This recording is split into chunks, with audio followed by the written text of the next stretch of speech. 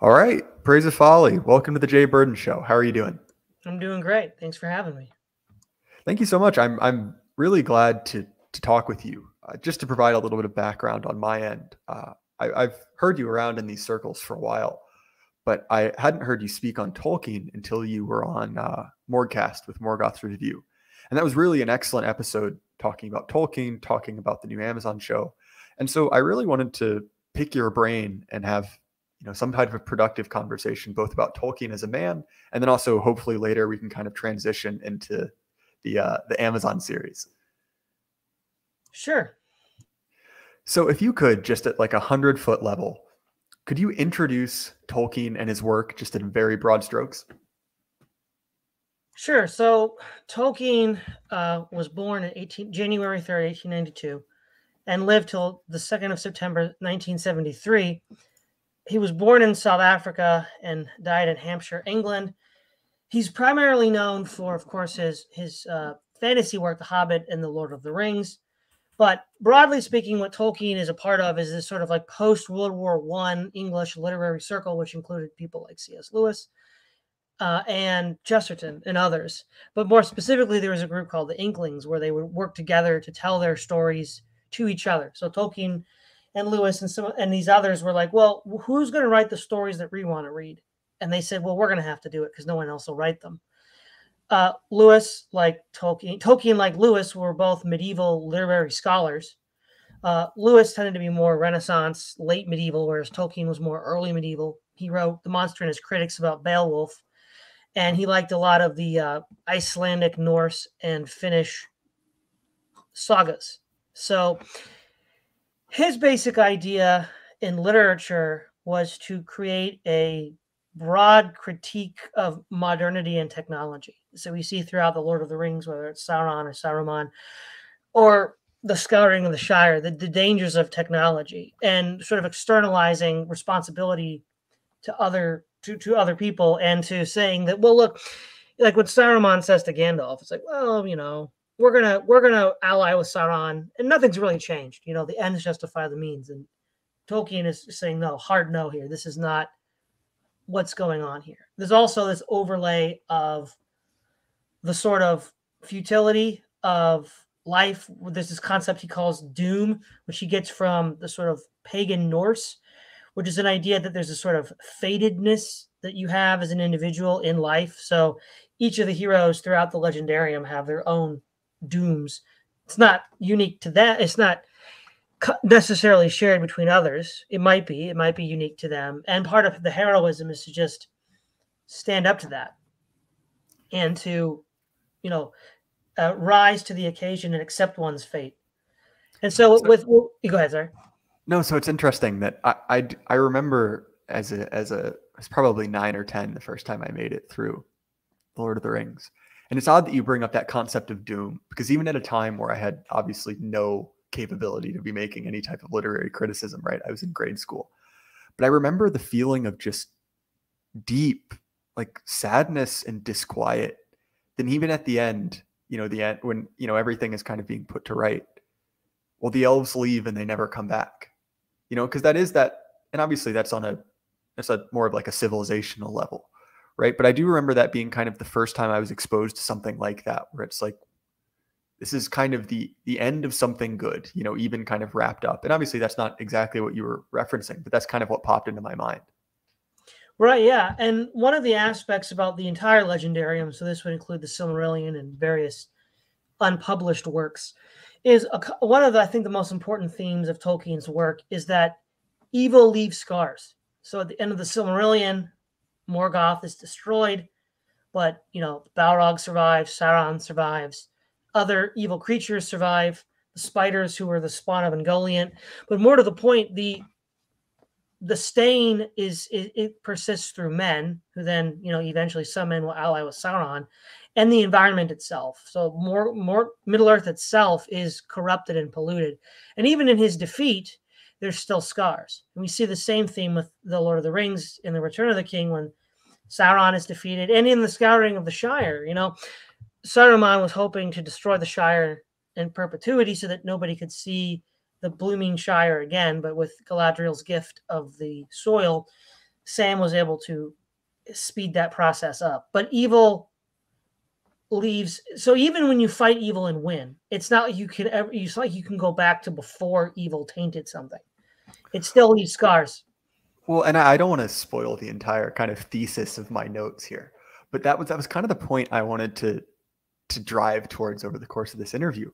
Is that to me at least it seems like you have to have in order to have any work of compelling fiction both a powerful understanding of heroism and the good and also one of evil.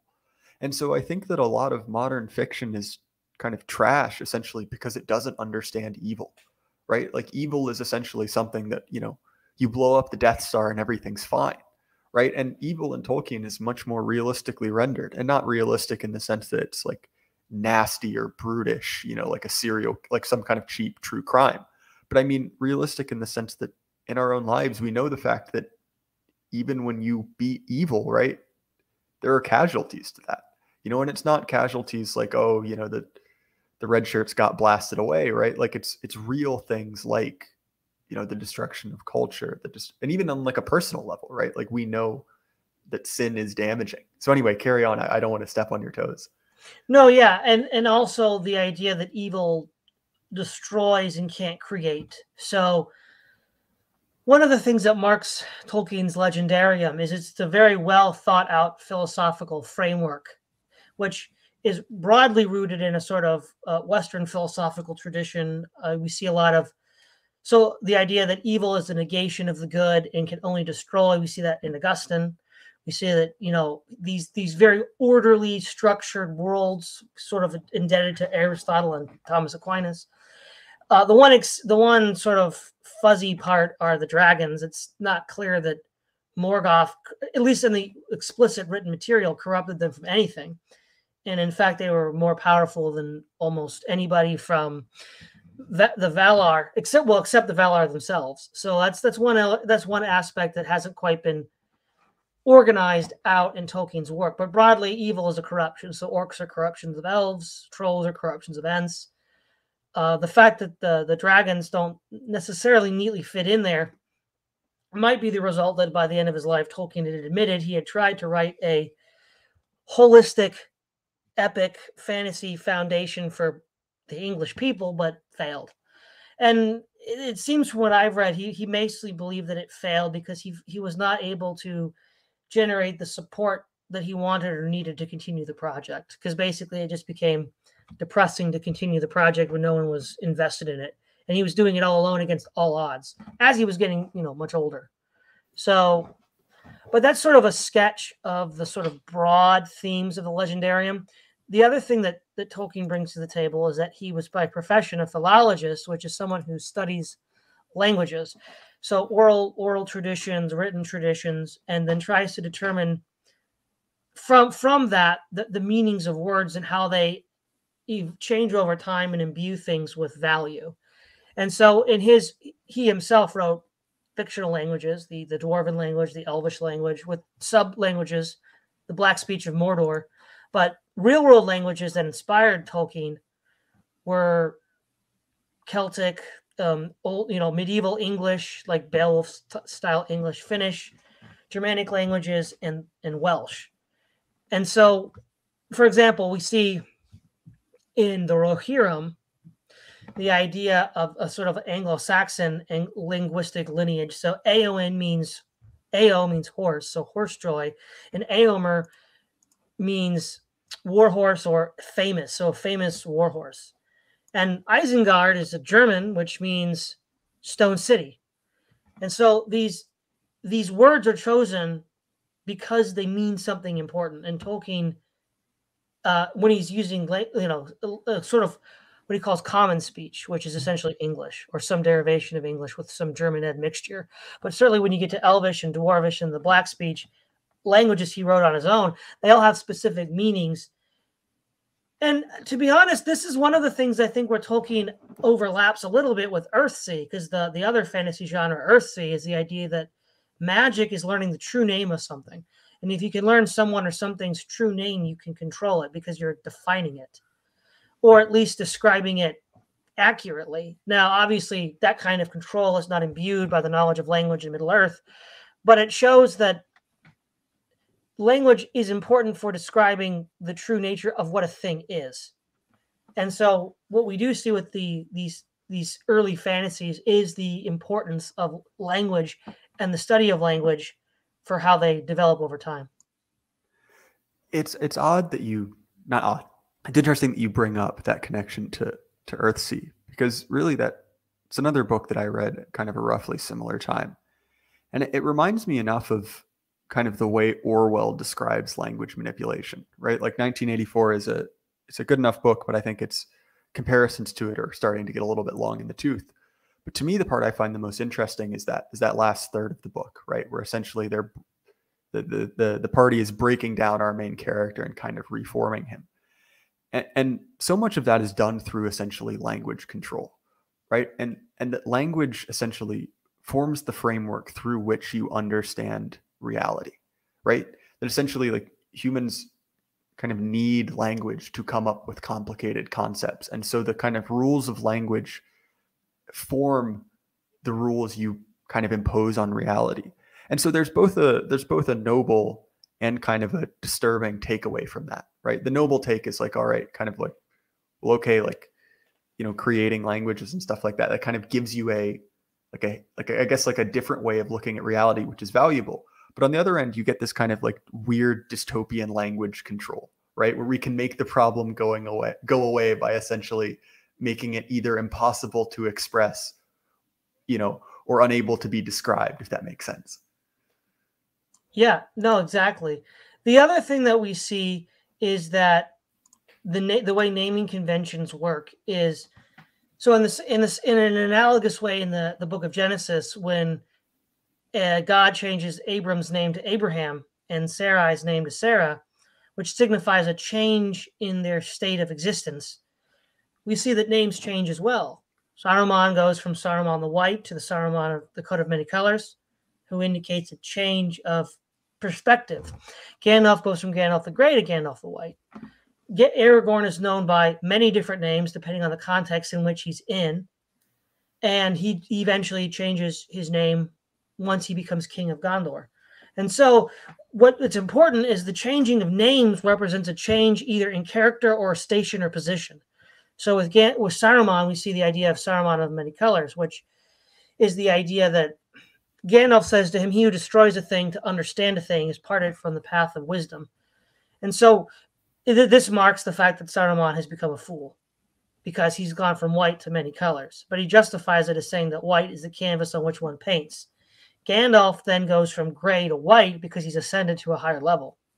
And so naming conventions not only are important at the beginning and when something is made, but they're also important as something changes. That's interesting because when you when you brought up Genesis, it reminds me of kind of the, the easiest example at hand, which is right how how does how does God charge Adam with essentially putting himself in dominion over the animals? Well, he tells them to name them. You know, and that is that kind of like deep idea about going back to Earthsea, right? Like names granting you control over it you know, like once it's named, it can be, you know, either literally controlled in that case or kind of discussed and wrestled with. You know, and the other example it reminds me of is right, like when Israel is given his name.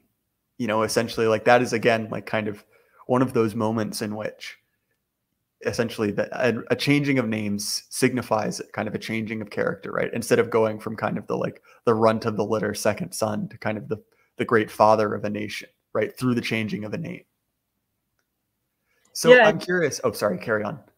Well, no, go ahead. So, and, and if we have more to talk on this topic, I don't want to. I don't want to cut you off. So go ahead. Oh no, I, I was just going to say that what's some so the other thing I guess as, as a segue, what these naming conventions represent is fidelity to European traditions, right? So the the Norse, Germanic, Finnish, Celtic traditions. I think we can see that through through the language, you know, of common speech, but also through like um, Elvish and and others. That they're that Tolkien is is implicitly and explicitly drawing inspiration from them because though the meanings those words have in Middle Earth are in some sense derived philologically from the meanings they had in the sagas and the epics and the oral traditions of, of those people. But the other thing we see too, though, is the Jewish Christian concept. So the idea of you know names change signifying a change in station, from like Genesis. You know, we see that. We see the idea of power corrupting. So the idea that you know power for its own sake or knowledge for its own sake at the expense of anything else is bad, right? So in the Norse mythology, Odin seeks knowledge at all costs, you know, even to all sorts of self-maiming and whatnot. But that's considered a good thing for the Vikings, right? But where Saruman looks too deeply into the knowledge and it's bad and it corrupts him and he serves Sauron. That's more of a, a, a biblical view derived from the Bible, where if you look too deeply into, you know, Satan's doctrines, it might tempt you away from the faith. And so we see in a more subtle way Jewish Christian concepts. Another one that's most obvious to mind is in the Silmarillion when Ar-Pharazôn, the, the last king of Numenor, goes to Valinor. His punishment is to be devoured by the earth alive, which is one of the punishments in the book of Numbers to what happened to a group of men that opposed Moses. So that's a little more subtle. Um, the dwarves, Tolkien admits, are inspired by the Jews. Moria uh, is spelled almost identical to the Hebrew mountain Moriah, with the only exception of the H being removed. And so we see all, all of these different elements cohering together. So, for example, uh, fun fact: Rohan uh, is is is considered a sort of alt history experiment, sort of. So Tolkien thought that the Battle of Hastings was a disaster for England; that the Normans shouldn't have won that the Anglo Saxons, you know, were the were the true representation of the English spirit, so to speak, use a, as a Spenglerian term, and that if only they'd had knights of their own, they could have defeated William's knights. And so the Rohirrim are sort of Tolkien's what if, what if the Saxons had their own knightly caste that was able to maintain their independence and freedom. Gondor seems to be broadly based off of Rome and Byzantium and a, a, lot of a lot of like the free folk, like say the the woodsmen, the Beornings, the hobbits, seem to be more like rural English. What's interesting because I, I I did want to kind of discuss that, and and I agree. Obviously, you're more knowledgeable than I am, but it's very clear that kind of the fingerprints of you know Western culture more broadly, but the Christian tradition explicitly are all over Tolkien's work. So one of my my great mentors is a is a really wise woman, and she she's she said once that Lord of the Rings was essentially the most Christian thing she'd ever read outside of the Bible, right? And it's it's odd that you bring that up because I, I had obviously I had no specific knowledge of you know things like you know being condemned to be eaten alive by the by the earth, but it's odd because it is both kind of speaking the language of pre-Christian Europe. You know, in some cases, kind of explicitly, right? Like going back to, I guess the Anglo-Saxons were Christianized, you know, but the kind of at least the version we see of them is not. But it's odd because explicitly there's almost no, at least in my reading, and maybe I'm wrong, right? But there's very little explicit religion in Lord of the Rings. But it's still very, and I, again, I, I'm forced to use kind of nebulous words, but it's still very powerfully there, right? So do you think you could kind of explore that a little bit? Yeah, sure. So the the only actual organized religion anywhere in the legendarium is the false religion dedicated to Morgoth that Sauron, Sauron brought to Numenor in the Akallabeth. And that's what's really interesting. So is is Lord of the Rings a Christian work? Now I know there are people that try to say that, and as much as I would like to say that, I think a better way to put it is Middle Earth and the Legendarium are perennial works. Because, for example, the fundamental, I think, non Christian element in Lord of the Rings is the idea that death is a gift. And we see this in the Silmarillion, where the men wish immortality of, like, of the elves. But of course, the elves in Middle Earth who are immortal uh, wish they could die because, or at least wish they could leave because they don't fit into Middle Earth anymore. So the issue is, from a Christian point of view, and even you know by extension a, a, traditional jewish point of view death is a curse And so it's it's a little difficult to square that with the idea that death is a gift. Death so some of the church fathers view death as a gift, but only after the fall, because you know, an immortal human who could indulge in sin and vice his whole life would lead to a life of misery and suffering. But it's only a qualified gift after man had already chosen rebellion. Whereas if you read Tolkien, it's not clear at all that men chose to rebel against uh, Eru or Iluvatar in some sort of primordial sense, like Adam. Uh, that's not what happened. Not not in even you know not in the unpublished works that Christopher Tolkien later brought to light. So I think that's a problem. Now some people say it's a Catholic work. Now you could point to like the Lembas bread being having this rejuvenating power, like the host. You could say that Elbereth is like the Virgin Mary. I mean, she's not actually a virgin; she's married to Mandos, but she she does have that like Mary uh, invocation element to it. But there's an organized priesthood which if this was supposed to be a Catholic work, like say Canticle for Leibowitz, you'd expect to see a organized priesthood. Um, that's not there. Now, there's certainly themes from all over the Western tradition, pagan, Christian, uh, Jewish. The Tolkien says the dwarves were inspired by the Jews in his 173rd letter. So basically, there's a lot of Western themes that are being woven together to create this tapestry of a what was once started out as sort of the the true English myth sort of has grown as as he wrote it and as he added to it into this more of an homage or collage of all these Western concepts. And so I think that the best way to put it is it's perennial. So yeah, it does have Christian themes. It does have, you know, Norse themes, Celtic themes, Homeric themes, but I think it's it's too difficult to say that it's just one of those or the other. That's well said, and I think that that that was kind of pointing at the the tension I was I was identifying, right, even inexpertly. So one of the things I want to talk about and kind of shift to is do you think you could run down, I guess, kind of the history of how I guess like Tolkien's intellectual property was handled? Because I think for a lot of people my age, their first exposure was the movies, right? Like those came out a little bit young for me. I would have you know, I would have been very young when they came out, but all the same, like they were very much in the culture when I kind of came enough, came to age to be able to watch them. And obviously there's stuff before that and stuff after that. So do you think you could kind of run down the history of, you know, the Lord of the Rings franchise, if we want to use that term? Sure. So one of the things that we see uh, in the earliest form is radio dramatizations.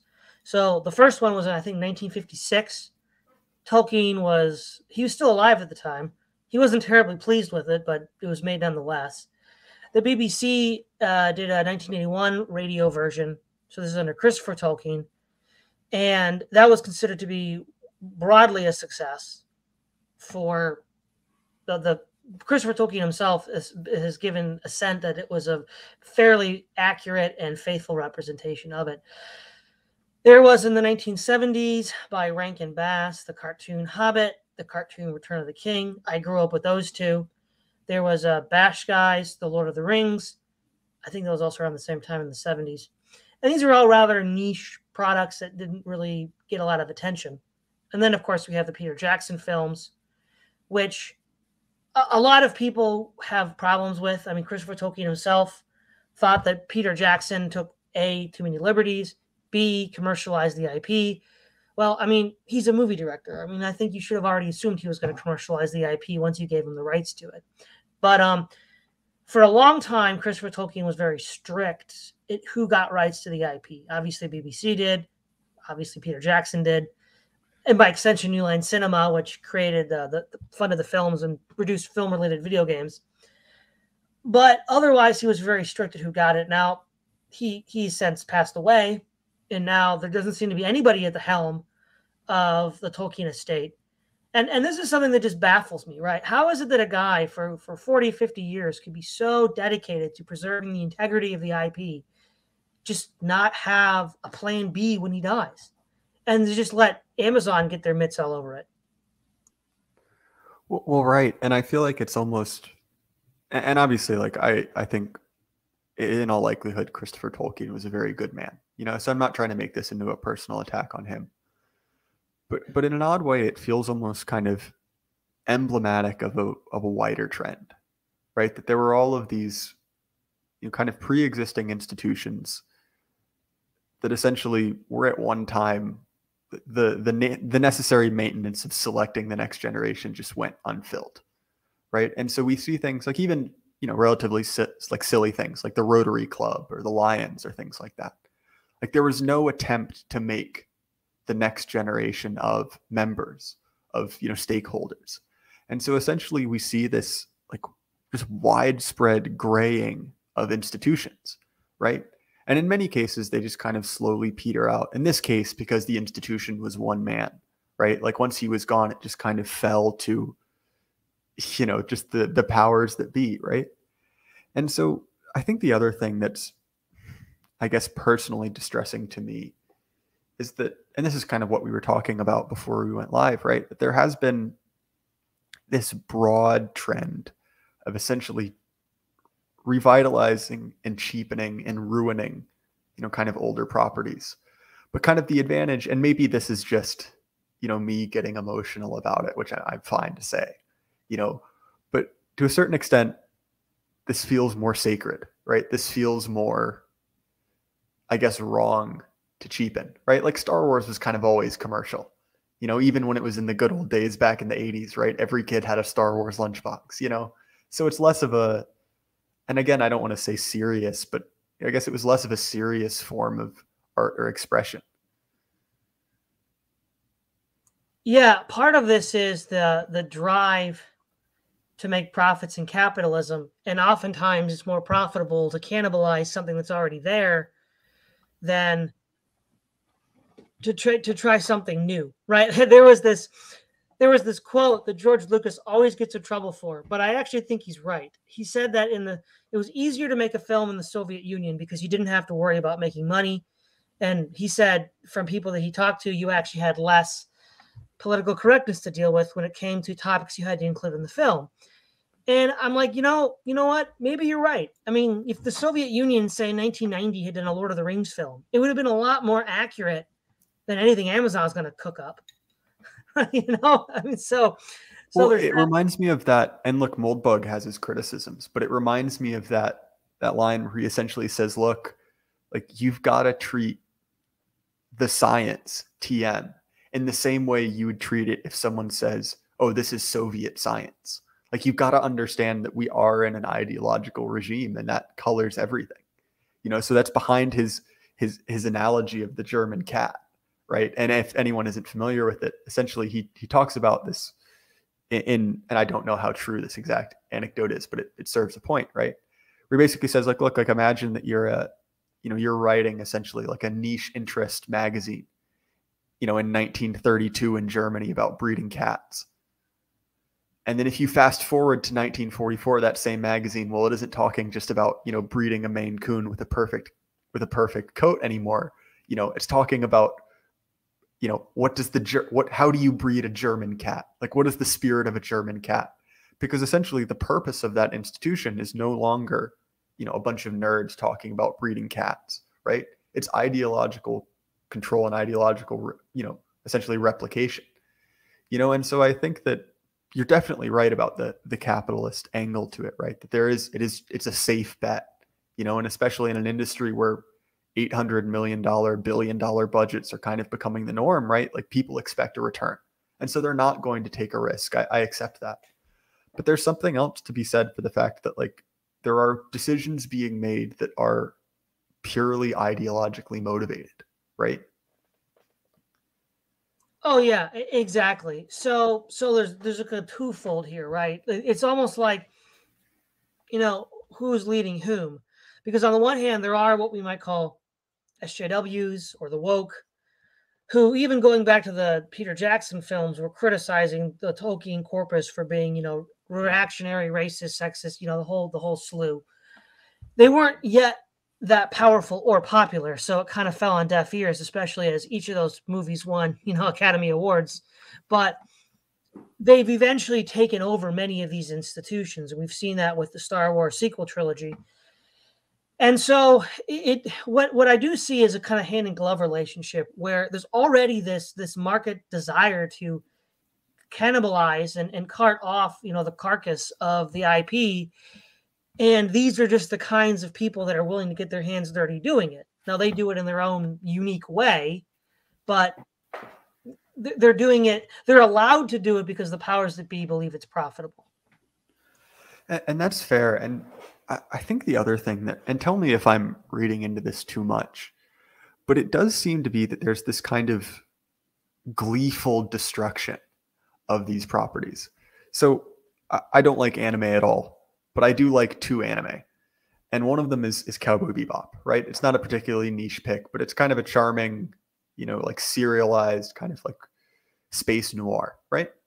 And it's it's obviously there's there's something there, but it's not it's not particularly complicated past a certain point, right? And I'll admit I I do enjoy bad movies, and I really enjoy uh, subjecting other people to them. Maybe I'm a little bit sadistic, but I forced my poor roommate to watch all 10 episodes of the Netflix live action adaptation. And look, like Cowboy Bebop again, like it's not particularly sacrosanct, right? Like it's it's entertainment. But there was this almost like palpable joy in essentially ruining every character. So they essentially, and I'm not even joking, they made the main character this like particularly dislikable like BDSM fetishist and I'm like, why did you do this? Like, this isn't this isn't like an adaptation thing.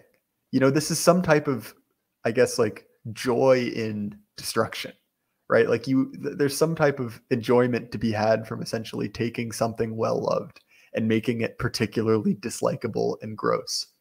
And I think that that's both true content wise, but I think you also kind of see it physically, right? Like if you've ever, if you've looked at a clothing advertisement in the last two years, it's very clear that there there's some type of vested interest in showing off like horrifying land whales in clothing. And I'm gonna be honest, I haven't been following the Amazon series particularly closely, but uh, in in the advertisements I've seen, the cast isn't exactly uh, shall shall we say, isn't exactly the top one percent as far as physical attractiveness goes.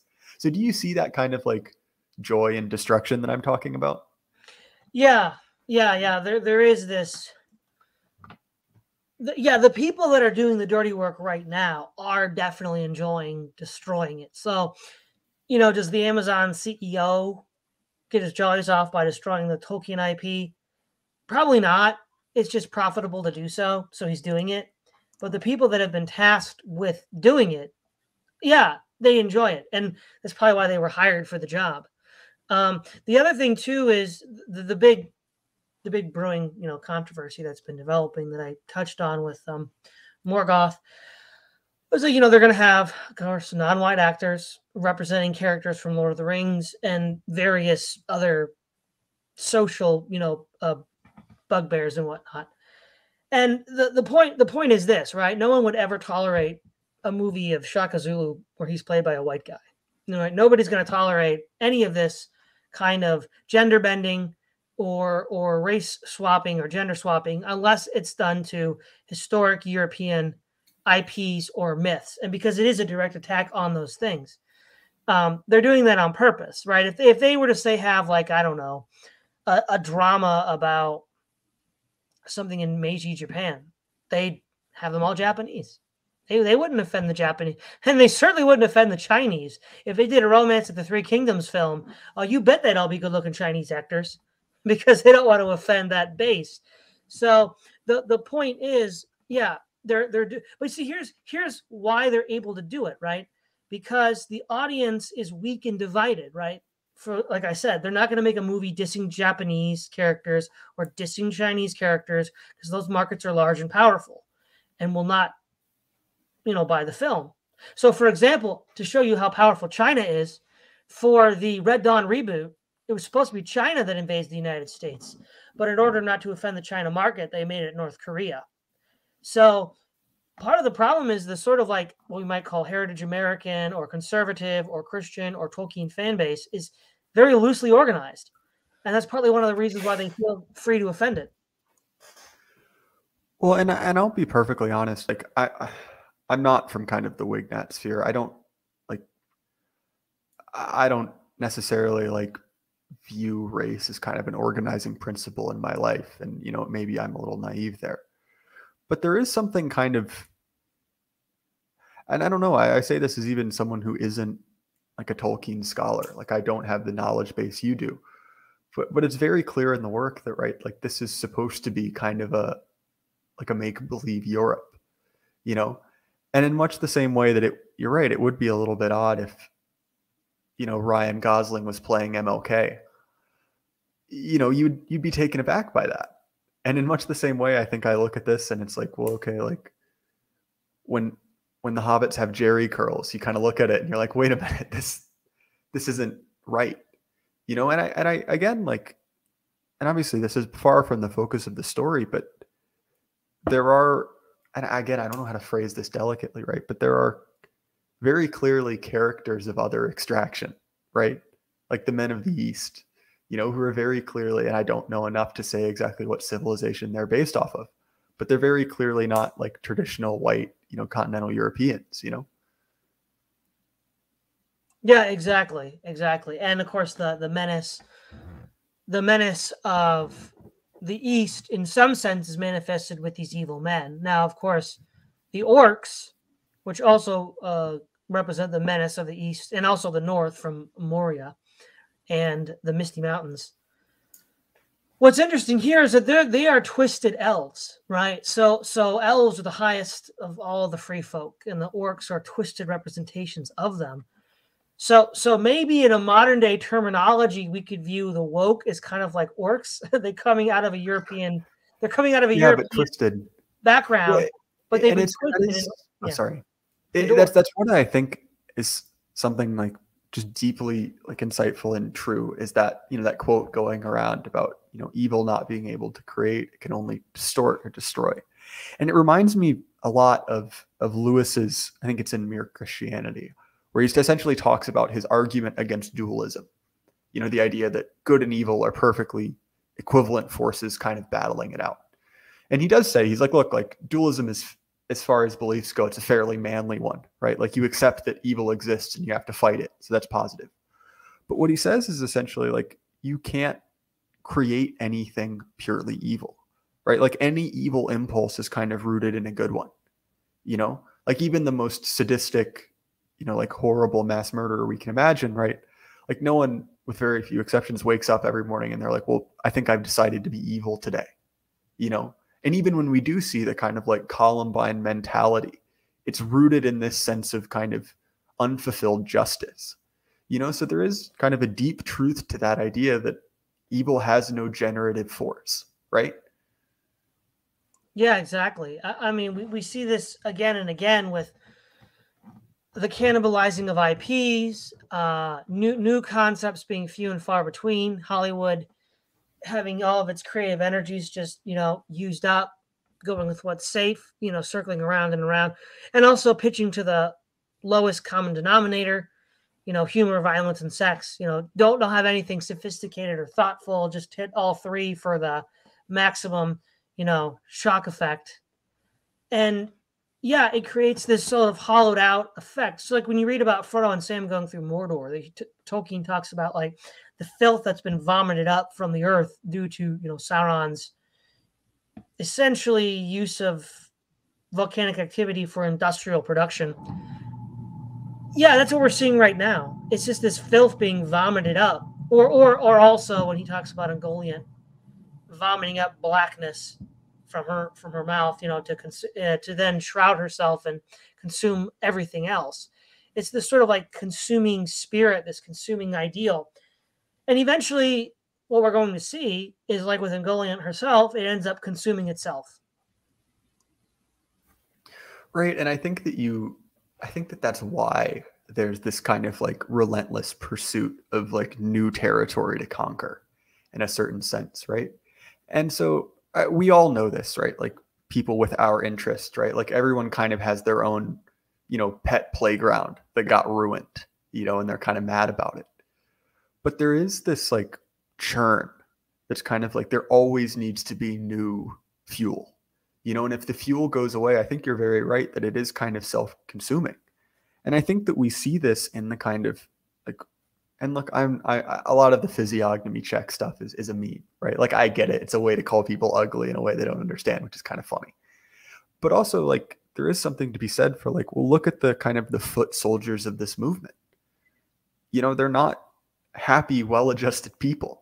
You know, they're they're miserable. And on one hand, that's kind of comforting. You're like, okay, well, the people who are trying to make my life hell, well, they're not exactly having a good time either. And that's kind of darkly, darkly gratifying.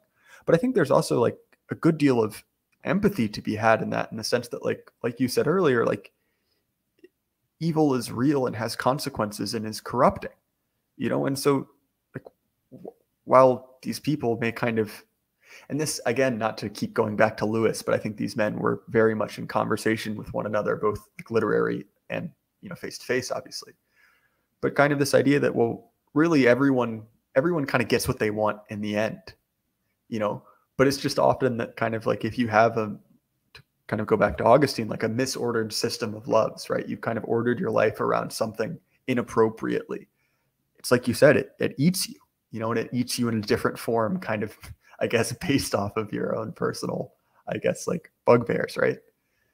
Mm-hmm. Yeah, and that's that's sort of like how the the so I guess to tie this all up together in a bow, right? The the evil that's assaulting Tolkien's work is assaulting his work in just the way one would expect from the description of evil that we find in Tolkien's work.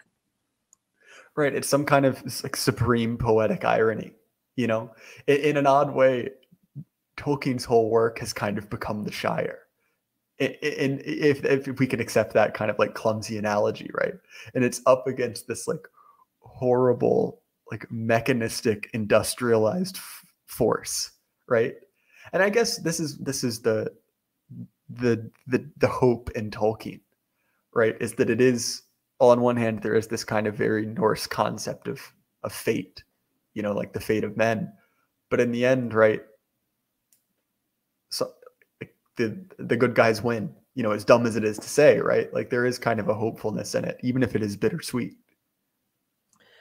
Yeah. Now, what I think is important to add here is what makes I think Tolkien's work and how the good guys win really radically different than a lot of other of the the myths and legends that he's using is it's only by resigning the use of absolute power do they win so at various moments frodo has to, you know, give attempts to give the ring to somebody. He attempts to give it to Gandalf.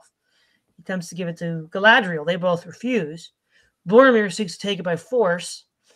Um, Sam takes it because he believes Frodo was already dead and he has to complete the quest on his own, but then gives it back to Frodo once he realizes that Frodo's not dead. And so the idea is that the power, whether it's the power of rhetoric, Saruman's voice, the power of the machine, the sort of industrial system that Saruman and Sauron are producing, the the power of terror, the power of you know being able to charismatically lead people, right? So Sam has the the the, the vision of Samwise the Strong once he uses the ring for himself.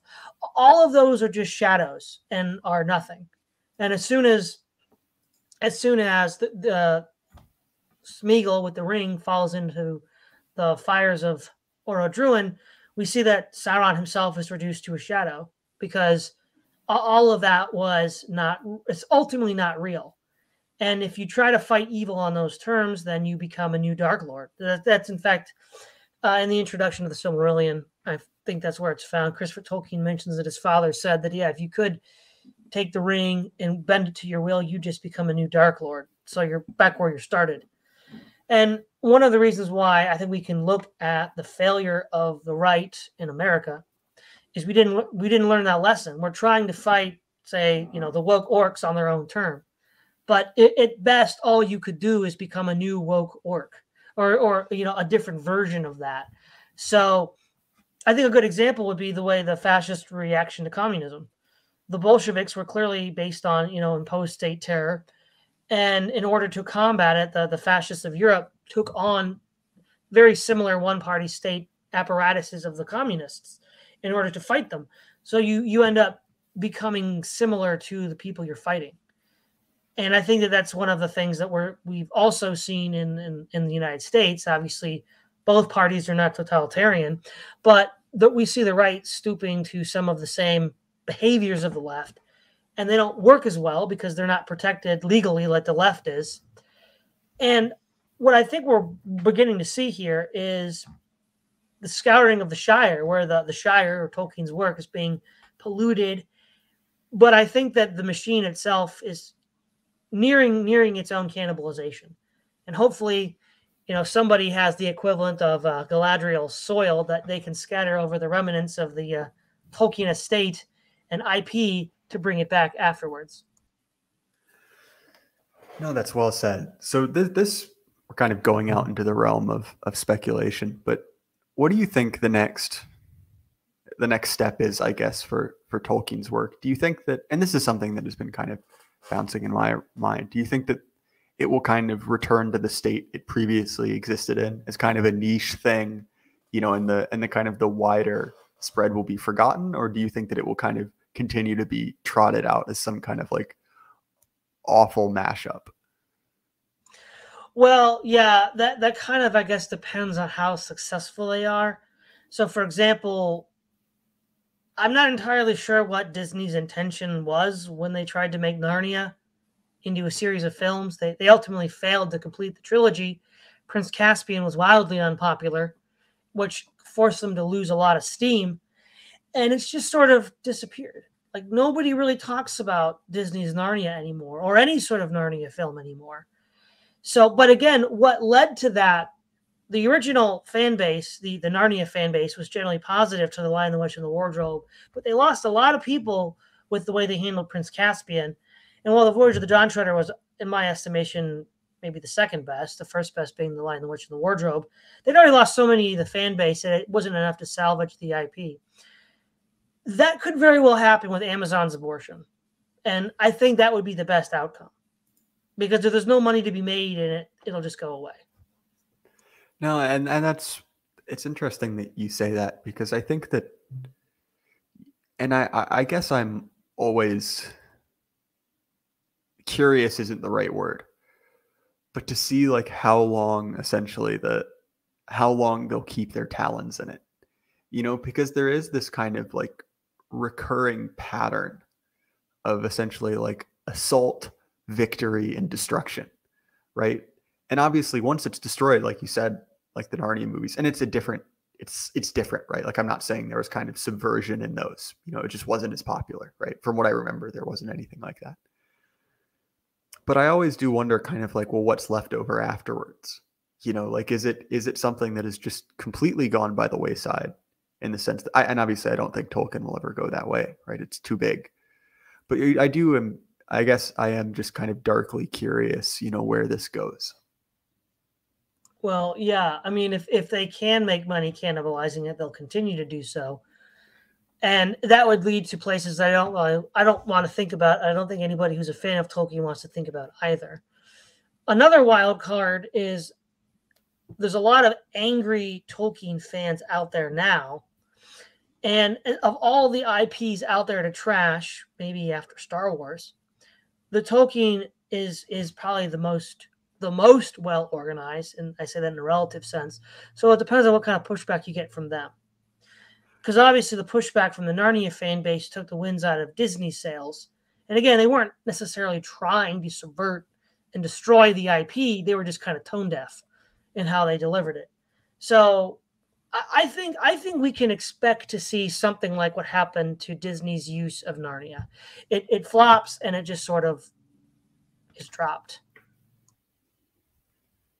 No, I think that's probably a good analogy. I remember when those movies came out well or came out well. I remember that time, but I didn't know, I guess, kind of the, the additional story on that. Although I will say, completely odd biographical detail. I do know that Thomas Seven Seven is it Seven Seven Seven is a huge fan of those Narnia movies. I don't know why that's the one biographical feature that sticks in my head. But it's interesting to me because I think that, like what you said about the Tolkien fan base being kind of like relatively well organized, is that it does kind of seem like the original kind of crop of Tolkien fans, and I realize it was to a certain extent generational, was it was kind of a very specific type of person you know, in the in the sense that it was like all the people I know who are very into Tolkien and are of kind of let's just say like 35 plus, right? So old enough that the movies were definitely, you know, influential but not, you know, massive events for them. They all kind of have a very specific and it, it makes sense, right, with Tolkien's own personality. Like it tends to attract a very like bookish and also I guess like kind of not fanatical in a negative sense, but very like dedicated fan base. You know, and so I think that a lot of the other properties that have kind of gotten ruined were definitely more, I guess, casual in a sense that like, look, like Lord of the Rings is not particularly easy to read in the grand scheme of things, right?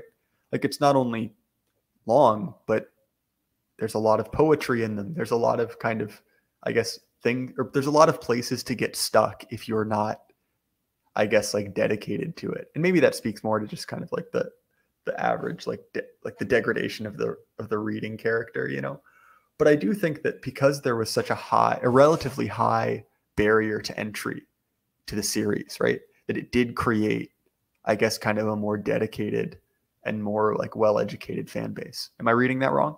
No, I think you're right. And I think it's also built in protection because something like Star Wars, which is a, you know, LDC concept right out of the gate back in 19 was it 77 um you know it's lord of the rings is a very highbrow thing now there's a lot of people that like it a lot of people that you might not expect to like it like it but it doesn't have that same accessibility you know it, it's more of um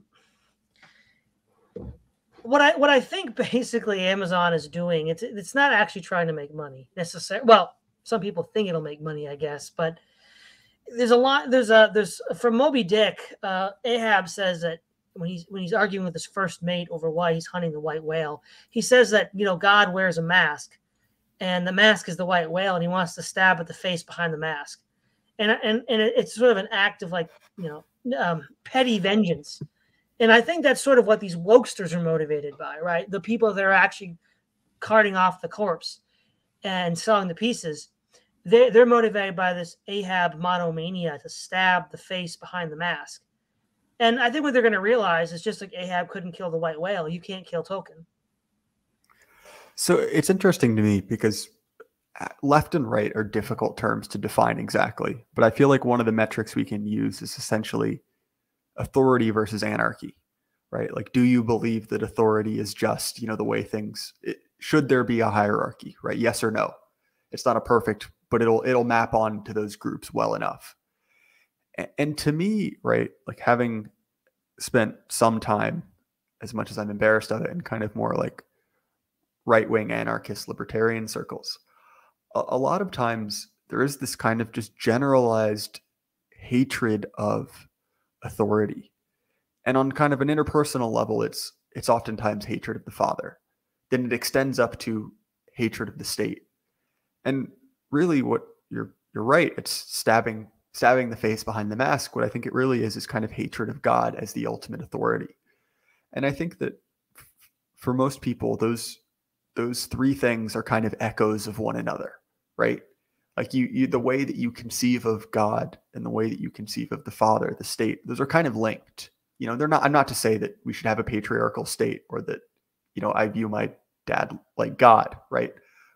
I do think that there is kind of a, a mirror image and I guess our relation to authority along those lines, right? Yeah, yeah, exactly. And I think that's what's motivating the sort of goons, you know, on the on the street, so to speak. Whereas I think Amazon is motivated by, you know, and the way you make profit is you just sort of spitball and it's like, well, let's just have as many projects as possible. And some of them are gonna make some of them are gonna make money we don't know which ones necessarily. So we're just going to throw it all out there. So I think you have to look at it at the, the higher level and the lower level. And the lower level is definitely ideologically motivated to, to destroy the IP. And there has been a, an attempt uh, over the years of, of the woke to take over things like, you know, Magic the Gathering, the card game, fantasy in general, through our, through role playing games and whatever, in order to take it over for themselves as a kind of hostile takeover, where they can they can sort of tell their own stories within the rubrics that they have inherited from other cultural mediums. They're, it's kind of parasitic. It's kind of like the wasp that lays eggs in a caterpillar that kills it, because they they don't have a medium to tell their own stories. They have to hijack other mediums to do it, and in so doing, they destroy the medium. So it's also we could also contextualize it this way: it's not necessarily motivated out of an atavistic desire to destroy, though it might be. It could also be motivated by a lack of ability to have a structure to tell your own story in. So you want to tell a story, but you lack the means and the framework to do it. In part because the woke is just about uh, eliminating all distinctions and boundaries. So if you don't have any distinctions or boundaries, you can't tell a story. So what you do is you have this, you then have to hijack something that already has boundaries and then transgress all of them, and then you've destroyed it and you can't tell your story anymore. But in an odd way, you have you have kind of solved that problem of and it's the issue that you face. Like if someone handed you a blank piece of paper and said, draw, right? Well, you're kind of up a creek. But but I think that you've kind of almost created by having this property to kind of inhabit like a skin suit, you've created a negative identity. Right. Like, well, my my specific purpose, my identity, my story is about breaking this set of barriers. You know, and if you have that kind of like satanic in not in the devil with horns, but satanic in the Milton sense view of the world of like rebellion, right? Like you have, in a sense, created a a story by breaking something down, right? And that's a comfortable, I guess, that's a comfortable narrative to assume culturally. You know, it's it's there's we have a lot of examples of that, so it's an easy place to imagine yourself. Well, exactly, because this the sense of deconstruction and rebellion is itself huh, reactionary because it's reacting to what's already there and if there's nothing there for it to be framed by to then frame itself as an opposition to then it falls apart it, it doesn't have if it were to ever succeed it would cannibalize itself because there'd be nothing left to subvert there'd be there'd be no medium for which their story to is to be told Right, which I guess is just another way of kind of restating that core point about being unable to create. So, and this is something I could I could talk about for a long time, but you you kind of mentioned before about you know fantasy in general being subverted. Do you have different? What are your thoughts on fantasy as a genre? Right. So in the modern times, there's basically three authors that revitalized fantasy: Tolkien with The Hobbit and The Lord of the Rings, C.S. Lewis with the Chronicles of Narnia, and Ursula with Earthsea. Now, I've never read Earthsea, so I can't comment on that and what I think about it or not. But I, I love Narnia. I love Lord of the Rings. Fantasy is, I think, intrinsically traditionalist because and and I think sci-fi tends to be more intrinsically progressive because because for sci-fi is always about you know using technology to overcome barriers, to transgress barriers, to to destroy barriers and transcend beyond. Whereas, I will say, with with notable exceptions on sci- on the sci-fi, I agree with you more broadly. But I would argue with, and I, I don't like sci-fi as a genre, but I like a very few science fiction books. I would make the argument that Frank Herbert does kind of buck that trend. But we can go back to what you said. I just wanted to make that known. Well, sure, and and, and there are progressive woke fantasies now, but that's because they're trying to subvert the genre whereas trying to trying to overcome boundaries actually these are two things that lord of the rings and earthsea share in common because i did see the japanese anime of earthsea from like the 80s the idea of trying to transcend death right so the men of middle earth seek to avoid death in the silmarillion and that gets him into trouble and in earthsea i don't remember the guy's name but there was a wizard who tried to transcend death and it just led him killing a bunch of other people in order to finish the spell that wasn't going to work anyhow. And so the idea of constantly transgressing is bad. Like, but that's a very right wing thing to do, right? You think about there's this sort of order in the world, and you're supposed to live within that order rather than to transcend and dominate it. So technology and machines allow you to do that. In theory, magic could too. And so the bad guys in fantasy tend to use magic and arcane knowledge to subvert and overcome the order of things. But in so doing, that makes them the bad guy. And so by by the good guys are those that maintain and live within the order of things. So in that regard, I think that the good guys, or sorry, the fantasy tends to be more right wing or more you know um, rightist.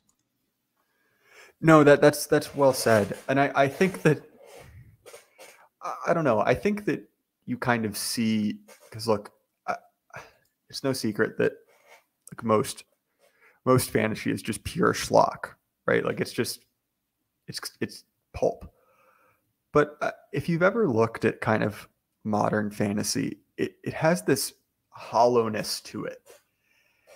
And it's because it's kind of taking on the form of a traditional society, right? Like in its most basic form, like, you know, swords and sorcery, right?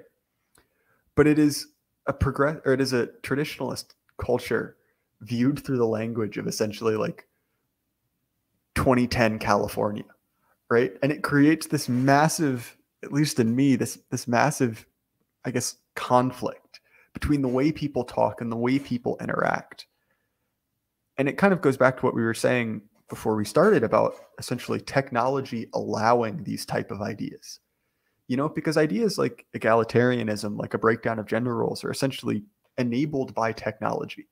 And so if you have a world with no technology, you have a world with none of the support structures for these kind of luxury beliefs, it's incredibly it's incredibly, you know, out of place, right? Like it, it's it's essentially the cultural equivalent of of, you know, Lancelot, you know, showing up and saying, "Well, you know, where's my Uber Eats?"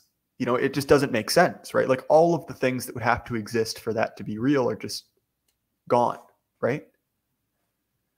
Yeah, exactly. I mean, there's for okay. I'll, I will give the devil his due. Right, George R. R. Martin does envision a fantasy world without contraception, and that leads to a lot of bastards. So I, I guess to give the devil his due, he does at least acknowledge that reality. But yes, in most fantasy today, uh, those kinds of male female interactions uh, are very reminiscent of today, but there's no abortion or contraceptive in the Middle Ages. So how are they doing this? Well, it's because they're, they're just they're putting it in the wrong setting. You know, it's this is just not something you're going to have in a medieval ancient setting, which is what fantasies usually set in. Um, and also, by extension, certain roles. Right. One of my pet peeves is the fantasy trope of the female archer because I guess people think, well, she's a woman, she can't be on the front line, so she'll be an archer. Well, I mean, you know, if an English warbow from the Middle Ages has a draw strength of 75 to 150 pounds, there's no way a woman's going to be doing that. So even that isn't going to be something that you'd see in an ancient or medieval battlefield, unless maybe they used weak bows with poison arrows to compensate for their lack of a draw strength. But you're not going to see that but again, it's just it's just completely out of place. Um, and even today, in you know professional athletic competitions, men and women are sex segregated. So e- even that can't be. So so there's a there's a higher order there's a higher order of delusion in fantasy, where like you can create a D and D character, you have a female warrior fighting on the front lines. We don't even we don't even have that in professional sports, and yet this higher level delusion is all over fantasy, and it's like no, this is again, to, to give credit where credit's due, the YouTube channel Shadiversity did touch on this topic and did, in a sort of roundabout, ham fisted way, still basically say, yeah, women probably couldn't do this. I guess he didn't want to get like demonetized or canceled. But yeah, it's ridiculous that there's no way that would happen in a fantasy world. Well, and it, it's frustrating too because it, there's this, I guess, like view of equality where to be equal with men, you must become a man. You know, and honestly, uh, Ursula K. Le Guin has, I can't remember the name of the book. I think it's called The Dungeon of something, where essentially her point is that she, she wrote a truly feminine hero, right? And, and over the course of this kind of short story in the Earthsea series, it, we kind of follow a, a priestess turned loose in a labyrinth, right? And her point was, look, I wanted to make a heroic character in fantasy but I didn't essentially want to make a man in a dress. You know, I wanted to make someone identifiably a woman, but still act heroically. You know, because obviously heroism is is not you know sex segregated, and so it, it does create. And I think we see a lot of this in the like you know empowered woman in in any type of fiction, right? Where it's just like this kind of like absurd caricature of like a hyper masculine man who is a 110 pound woman you know, and it's things that would be absurd if a man did them, you know, like walking up, punching him in the face and be like, I don't take no for an answer. You know, like that's that's an absurd thing to do regardless. But it's this like simultaneous like obsession with yourself in relation to men, right? While also like needing to individuate yourself. It's just such an odd mix. If you if you see what I'm talking about. No, yeah, yeah.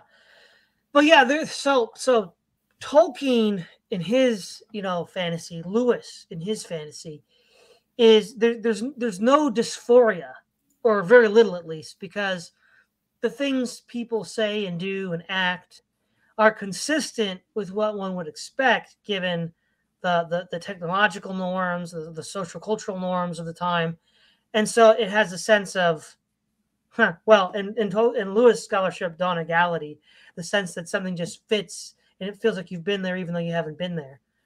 Uh, it has that sense to it. Whereas modern fantasy doesn't have a sense of Donegality because you're you're putting 20th and 21st century ideas and concepts into the mouths of people that live in the Middle Ages.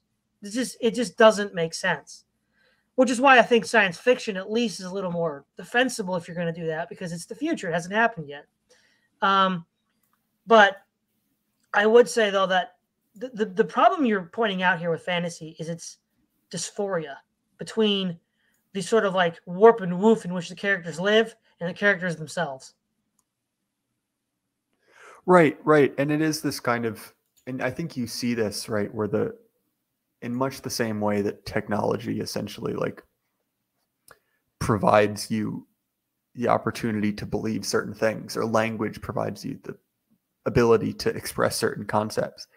It is like that old marshall mcluhan thing where to a certain extent the media is the message right? That there are just kind of ideas that flow from fantasy right? And when you kind of try to break them you can't do them and still have it be fantasy. It's kind of some kind of like odd distended chimera, you know, where it has the, the trappings of fantasy, fantasy as a setting, you know, but you can't quite it it becomes kind of hollow and fake, if that makes sense.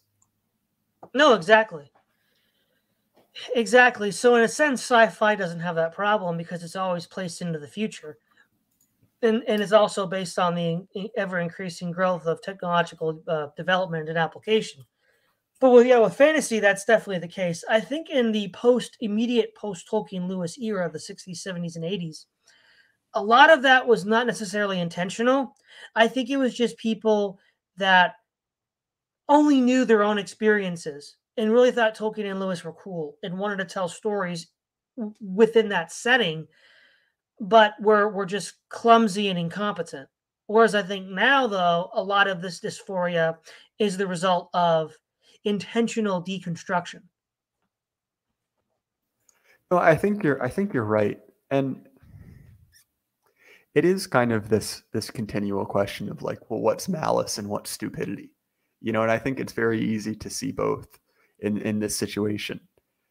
And I don't know, I guess that I at least have kind of come to the same conclusions that a lot of people have that like look like kind of looking to broader culture and expecting to see our ideas you know played back at us i think that that's probably a you know vain hope at this point with notable exceptions you know like maybe one or two things spring through. And i think that is i guess the comforting thing past a certain point is that like they can't really ever take the lord of the rings away from you you know, they can make something else that has the same words on it, but it won't be the same thing. You know, and it's always I mean, the books are still there. You know, they're in every used bookstore in America, right? However many of them you want to take home. And so I think to me that like and look, the movies are I enjoyed the movies quite a bit, but I mean, no one would deny that they're an inferior version of the original. You know? And even like in many cases I would argue that as much as you can get from his unpublished work, the Silmarillion, like those aren't inferior in the sense that they're worse, but they are less, they're more specific tools, you know? And I think that the text itself is kind of why everything else exists, you know? And it's, at least in my mind, it's probably not wise to get too like stuck up in the details of, well, who owns the property now and is squeezing something out of it, you know? Because that, that's kind of by virtue of the nature of being present, you know, it, it can't at least directly affect the original, right? Yeah, it, it can't directly affect the original. And again, having, you know, if if we're talking to an audience that's read The Lord of the Rings, the fact that it exists at all, in this case as an IP, means that it has the potential to be corrupted. So the very fact that the Shire existed meant that there was a possibility that Sauron might try to corrupt it. Saruman might try to corrupt it. And uh, to an extent, Saruman did. But the point is, though, that's just that's just the price of existence. That's that shouldn't be a surprise, you know. So when someone says, "Oh, if only we kept control of the IP, this never would have happened," well, over a long enough time frame, this is going to happen.